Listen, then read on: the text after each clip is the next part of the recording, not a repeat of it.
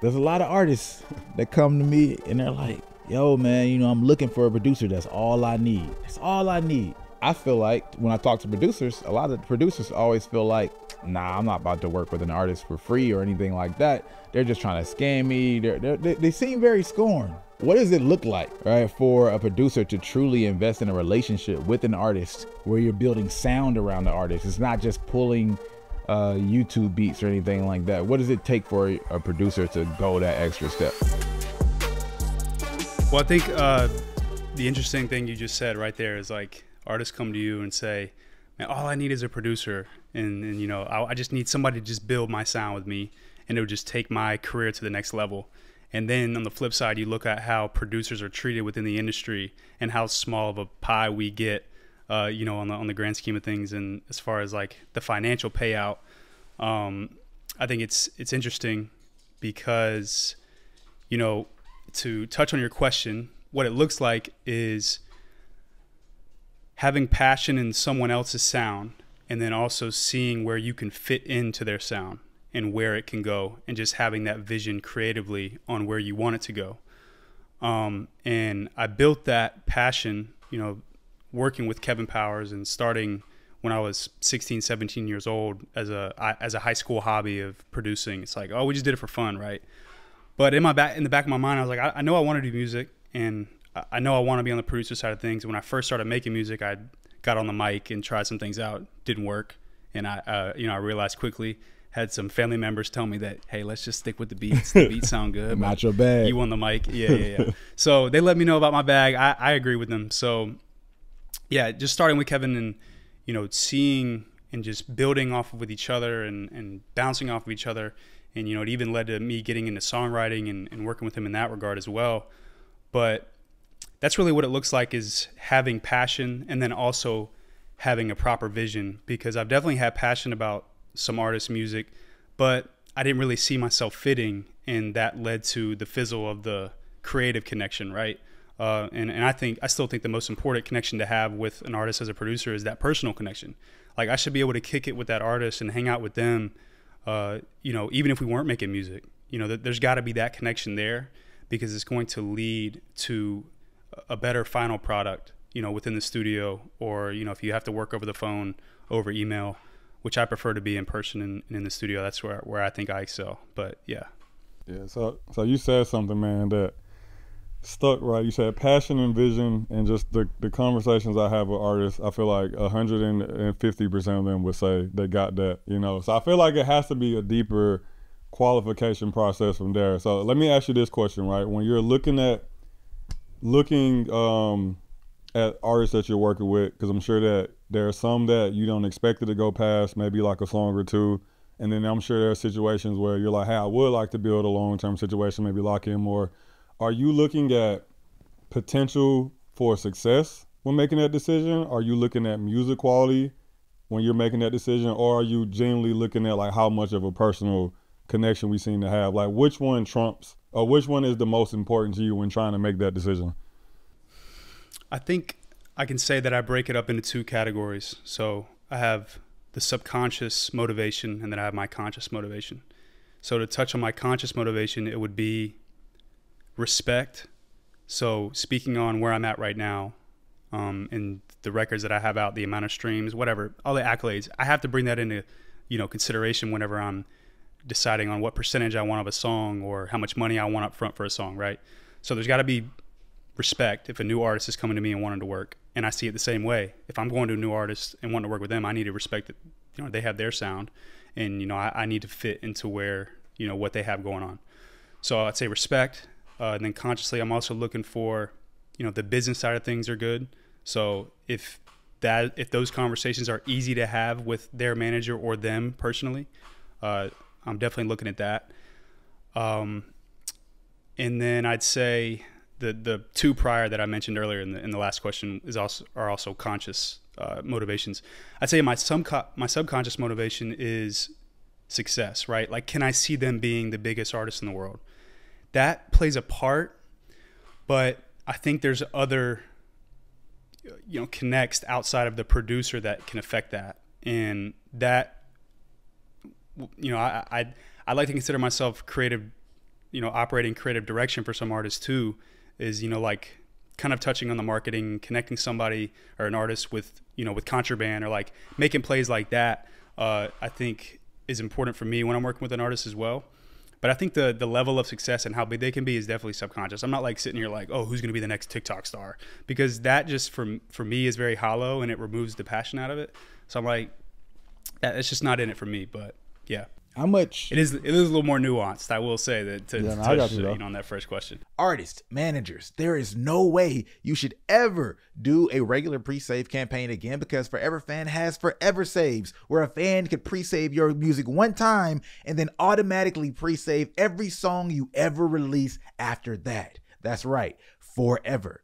And on top of that, Forever Fan has email and texting all in one platform. This is built out for artists who don't have huge teams and don't want to get overwhelmed doing too many things in too many different places. So go to foreverfanmusic.com slash no labels. That's no labels with an S and put in the code no labels 02 to get access and try it out for only a dollar. Forever Fan is your go to place for your marketing needs as an artist so you can stay organized, have your own infrastructure to make it a lot easier to go to the next level. Again, that's foreverfanmusic.com slash no labels and type in the code no labels 02 at checkout to get access for only a dollar. Now back to the episode. Now you basically alluded to the fact that producers don't get a lot of respect when it comes to the front end of the music, right? How much would you associate the success of a song with the production versus just the artist? Because a lot of artists I've seen this year, I hadn't really seen this as much, but I've seen more uh, clips go viral of artists basically feeling like my producers are getting too much. Like we're responsible for all this. Producers don't even need percentages. This might have to be the most time I spent on the question. no, you don't gotta go to PC on us, man. Come on. nah, yeah. So I, I, I'll s- I'll say that. uh, let's just touch on relevancy and what's going on right now. So we'll we'll just talk about not like us, and I think there's a reason that not like us was put out during this time, uh, during this beef. You know, there's a reason that it came at the time that it did, right? And then there's a reason that it had this bounce and that he linked with Mustard and that they brought such a strong commercial hip hop radio sounding beat into the equation because it's like, hey, Drake, I can beat you on this accord too. Like, I can have people dancing to my music too and be beefing and saying some crazy stuff, you know, at the same time, right? So, playing off that, I think that the producer is the original songwriter in most cases.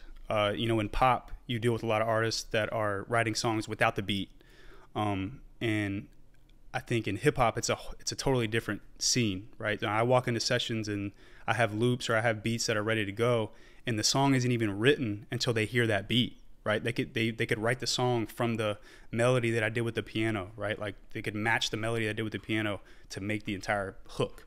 So, I think in that regard, in the hip hop space, where you the producer is the original songwriter, I think that it's insane, uh, you know, to that we are getting the smallest piece of the pie.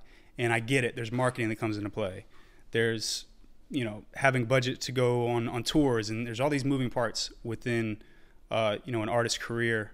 But I think that comes down to is how involved are you with that career, right? Like if I have a long lasting connection and I'm building with an artist, I would expect more of the pie because I feel like I have I have more of I have more weight and more buy-in to their career rather than a a producer that just kind of got a one-off placement, wasn't in the session, didn't record the session. You know, they just sent a beat to an A and R, and A and R got it placed. You know, I think what you put in is what you should get out. Uh, I think that's my stance on that.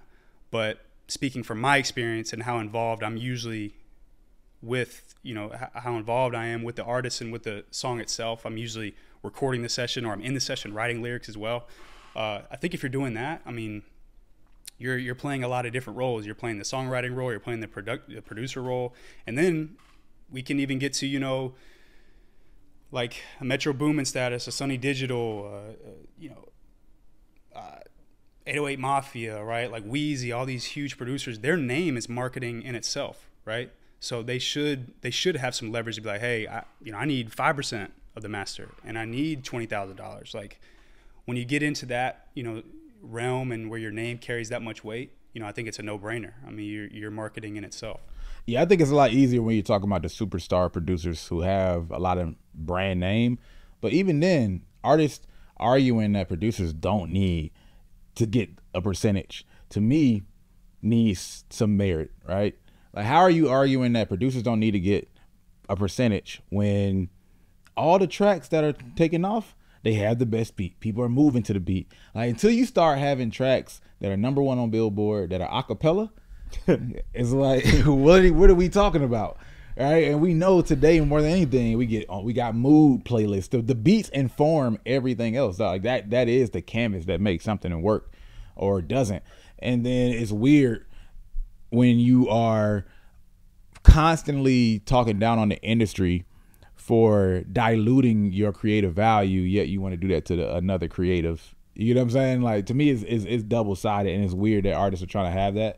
But I get it. You know, you got to work within that space so you have your answers and how to work with it. I, I go, I, I find it a, a, a, lot crazier, and I and I just speak from the marketer outside of the camp and and watching the relationship that I continue to see evolve. And not that every artist is that way, but it's definitely been more and more artists I've seen that have been vocal about feeling like nah producers shouldn't get that.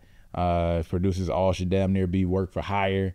Um you know and so on and so and, on. and I, just to summarize that that last question too is like to combat that right like we there's a there's a preconceived notion in the industry right like producers are just going to get the smallest part of the, of the pie. And like you just said until songs are popping off a cappella on the radio that that shouldn't be the case. And you know, to touch on mood, right? Like that, that guitar, boom. I'm like, oh, I'm like, I know where I'm at. I don't even have to hear the lyrics. I like, you could just turn the lyrics off. Lyrics are great. It's a great written song, but just that guitar is like, oh, and then with, fused with the hip hop drums, it's like, it's a hit, right?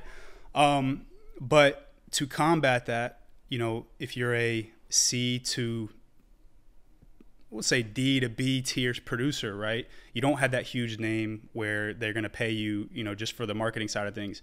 You have to maximize your impact on the song, right? You have to be an engineer in some regard. You have to provide mix notes. Like focus on maximizing your impact on the song to maximize your income. Um, and to touch on the percentage things, it's like percentage is such a broad term, right? Because you have publishing and you have the master sound recording, you know, percentages. And percentage is so important on the producer side of things because it's ownership, right? Like I'd love to get a check for fifteen thousand dollars, but if that song does one billion plays, and I took that bigger advance and I didn't get anything on the master, I'm gonna be sick, right? It's just that long term, um, and, and, that's where understanding your finances and, and, running your career like a business comes into play. Uh, is you know you need to get that percentage. That's ownership. That gives you leverage when you're going to sign a, a publishing deal or, or you're, maybe you're signing a label deal, right? Uh, so yeah, percentages is super important in the equation. Appreciate you for watching. If you like content like this, you'll love seeing our music marketing strategies that we use as an agency to actually blow up artists to millions and even billions of streams that are available for free at nolabelsnecessary.com. And the cool part about it that's going to really make you love it is we don't have to be all entertaining and add all this fluff just to get some views that we do on YouTube. We get straight to the information. There's play by play and courses that give you a breakdown of every step that you should do to get success. And you have the ability to have communication with us. We get on live talks, a lot of cool things for members, and it's free just to hop in. So check it out right now at nolabelsnecessary.com.